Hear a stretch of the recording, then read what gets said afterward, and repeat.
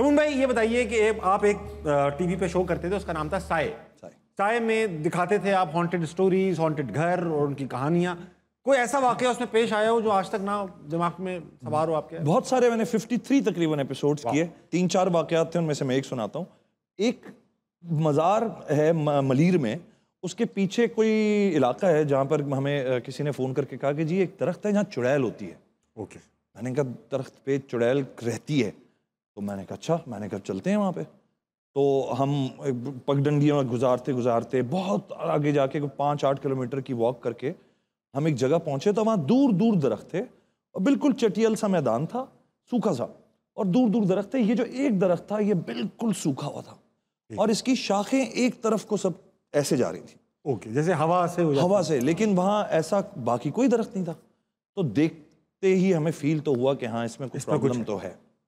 और उसने कहा था कि जब आप चौदहवीं की रात को आते हैं तो ये वहाँ एक्टिविटीज़ सारी नज़र आती हैं। वो चुड़ैल भी हमने देखी है और हम दूर से देखी हमने। तो हमने कहा यार ये अगर कैमरे में आ जाए बहुत तो बड़ी बात हो जाएगी।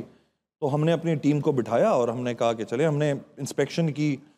मेरे साथ एक असिस्टेंट होता था उसने कहा शुमन भाई मैं तेरा ऊपर से चढ़ के भी तस्वीर वो ले लूँ वीडियो? दरख्त के ऊपर। दरख्त के ऊपर चढ़ गया। वो जरा जंगजू सा बंदा था बाबर नाम था उसका। बाबर चढ़ गया ऊपर उसका मतलब क्या वो दरख्त पे ही है? क्या मतलब वो पता नहीं बच्चा बड़ा हो गया कहीं और ही अच्छा। चला गया ये मैं बता रहा हूँ काफ़ी पुरानी बात। तो हम जब ये सारी शूटिंग हो गई तो हम दूर आके बैठ गए और कैमरे हमने वहीं रख दिए ठीक है। अब हम बैठ के इंतज़ार करते रहे। दो ढाई घंटे के बाद ये चौदहवीं की रात है। चौदहवीं की रात है तो वो चाँद भी शिफ्ट हो रहा है वो दरख्त के पीछे से निकला हुआ है। बड़ा स्पूकी सा माहौल था सन्नाटा। दो ढाई घंटे बाद ज़ाहिर टेपे भी ख़त्म होने लग गई कुछ भी नहीं हुआ। बैटरीज भी जाने लग गई तो हमने कहा यार अब चलते हैं। तो जाते जाते आ, मैंने लड़कों को कहा कि आप पैक पैकअप करें मैं जब तक आखिरी कुछ शॉट्स ले लूँ इस दरख्त के। पैनिंग्स वैनिंग्स।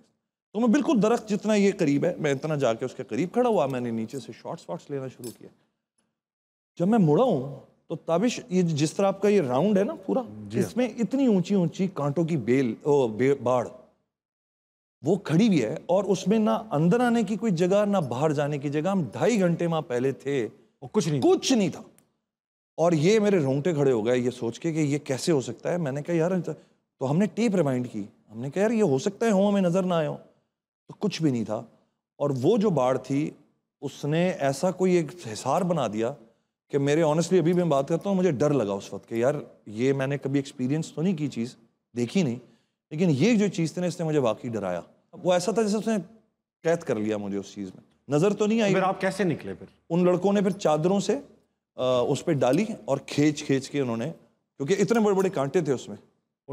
और और मज़े की बात यह थी कि उसका साइज़ जो था ना वो इतना परफेक्टली था कि मैं किसी इंसान नहीं जी जी जी ऐसा लग रहा मतलब एक इंच भी ऊपर नीचे नहीं थे वो। इतनी ऊँची बाढ़ और एक इंच भी ऊपर नीचे नहीं थी और वो तो मुझे उस दिन महसूस हुआ कि यार कुछ था इस इस तो जगह तो पर कुछ, था।, था। और भी हैं दो तीन किस्से लेकिन वो फिर अच्छा आपने एक बार डर के अपनी काम करने वाली के साथ हाँ। मैं यही शो करके ज़ाहिर सर पे सवार हो जाता था। हाँ। हम सारा वक्त एडिटिंग भी यही करते थे साउंड इफेक्ट्स भी चल रहे हैं। उसी मॉल में रहते उसी मॉल में रहते हैं आप तो आपका दिमाग कहीं ना कहीं वो अब मैं घर जब पहुँचा हूँ तो यही चौदहवीं की रात है। मेरे घर के सामने कुत्ता जो है ना हाउलिंग कर रहा है। लगा हुआ है वो। अच्छा कुत्ता लग रहा है। हाँ, अपने वो गाने वाने गा रहा है वो। मैंने गाड़ी लगाई कार पार्क में पार्किंग में और मैं उतरा तो मुझे लगा जैसे मेरे पीछे कोई चलता हुआ आ रहा है। ठीक। मैंने कहा यार ये कैसी मैं रुकता हूँ तो आवाज़ बंद हो जाती है। फिर मैं चलूँ तो इस तरह आवाज़ें आ रही रुका मैं थोड़ा सा घबराया। मैंने कहा यार ये कोई चुड़ैल वहीं से तो नहीं आ गई है साथ? हाँ। बाजी क्या है? हो गई ना शूटिंग हो गई ना? जाओ यहाँ से। अब वो मैंने गौर किया इधर उधर देखा तो पता चला मैंने इसी तरह के चप्पल पहने हुए थे। उनका ये जो बक्कल होता है ना वो ज़मीन पे टकरा रहा था। तो वो मैं ही था फिर। फिर मैं अंदर गया। अंदर गया तो सब सो रहे थे भूख लग रही थी। रात के साढ़े तीन चार बज रहे थे तो मैं किचन में चला गया और कैमरा मैं साथ ले गया। मैंने टेप उस ज़माने में टेप होती थी तो छोटी मिनी डीवी हमने मैंने रिमाइंड पे लगाई। अब उसकी आवाज़ चल रही है। जा रही है वो कैमरा रिवर्ड मैंने लाइट ऑन की तो उसका जो ट्यूब लाइट है ना वो स्पार्क करने लगा। स्टार्टर प्रॉब्लम होती थी ना ये स्टार्टर हाँ, नहीं चलता था। अब वो पिंग पिंग पिंग पिंग कर रही है। मैं सोच रहा हूँ यार ये लाइट ऑन हो तो मैं नाश्ता कुछ बनाऊँ? बहरहाल मैंने अब हालिया निकाला मैंने कहा जब लाइट आएगी एक चीज़ उठा लूँगा। वाह। है? लाइट आई फिर माचिस उठा लिया फिर फ्राइंग पैन उठा लिया हाँ। फिर चूल्हा जलाया। अब लगा के तेल वेल डाल के मैं मुड़ाऊं कि मैं अंडे निकालूं। हाँ। फ्रीजर पे रखा है कैमरा मैं कैमरे तक पहुँचा तो मैं देखता हूँ सामने वाली दीवार के सामने से एक लड़की आ रही है उसके इतने लंबे बाल हैं और पतली दुबली। उत्तरी।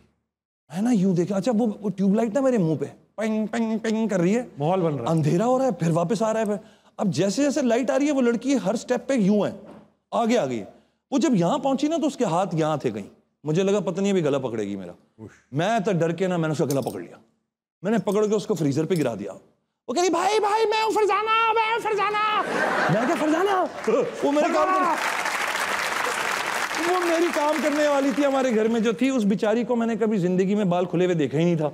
वो दुपट्टा उड़ती थी और बाल बाँध लेती थी। वो उसको क्या पता वो सोते में आई उसने कहा मैंने सोचा मैं आपके लिए नाश्ता बना दूँ अब कुछ कर रहे हैं।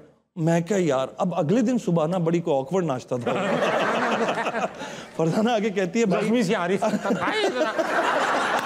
जख्मी फरदाना फरजाना आगे अंडे रख के कहती है मुझे देख लें भाई को अगर मसला ना हो तो गला ना दबाइएगा मैं दूसरे बना दूँगी। तो ये फिर मेरे फादर ने मुझे कहा उसने कहा बेटा ये सारा वक्त ना आपके सर पे सवार हो गई हैं चीज़ें कोई हेल्दी काम करें।